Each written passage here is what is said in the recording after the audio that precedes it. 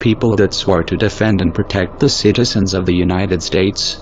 These men have no honor and we cannot abide by their word or trust their so-called evidence. Sandra Bland was already dead in her mugshot.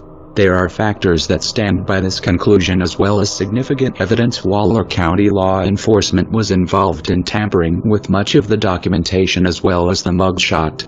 Allow us to run you through those points. Number 1. Waller County Jail does not put their detained in orange jumpsuits until after they have been processed.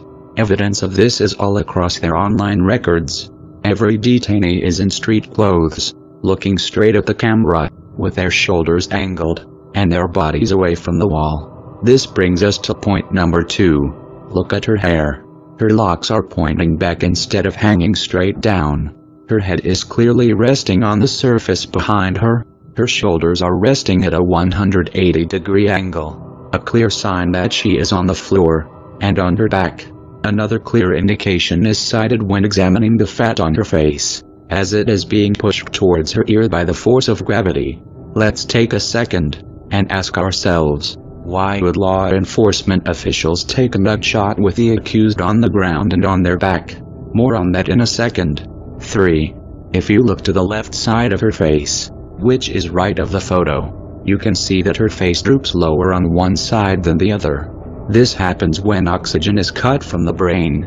Also on the right side of the photo, observing her neck, you can clearly see faded bruise marks present as well a failed attempt at masking it by officials.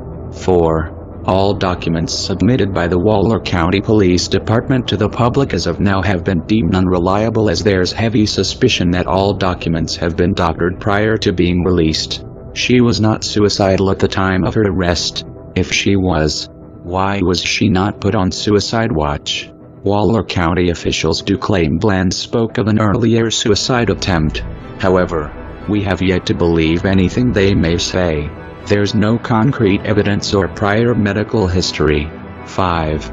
Officials, using the media to peddle their agenda, popularized the accusation that Sandra Bland first had marijuana in her system and that it somehow affected her cognitive ability to think straight and led to her suicide three days later. Then when they found out this wasn't a believable cause, they pushed another speculation saying that she either quote, smoked or ingested a large quantity of marijuana in her cell. 6. CNN reported a cellmate next door describing the entire dilemma as quiet and that she did not hear any struggle or screaming. Why did they not ask her if she could smell marijuana as well? 7. The booking sheet belonging to Sandra Bland, also released to the public, does not show a clear mugshot. Both front and side shots are darkened to the point where no facial features can be seen.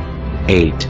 Both the cell photo that was released as well as the dash cam were either edited or irrelevant. The photo of cell 95 was taken either before Sandra even arrived to the cell or after her death. Both have issues. If the photo was taken before, we know for a fact that Waller County officials have something to hide and decided to peddle this to the media.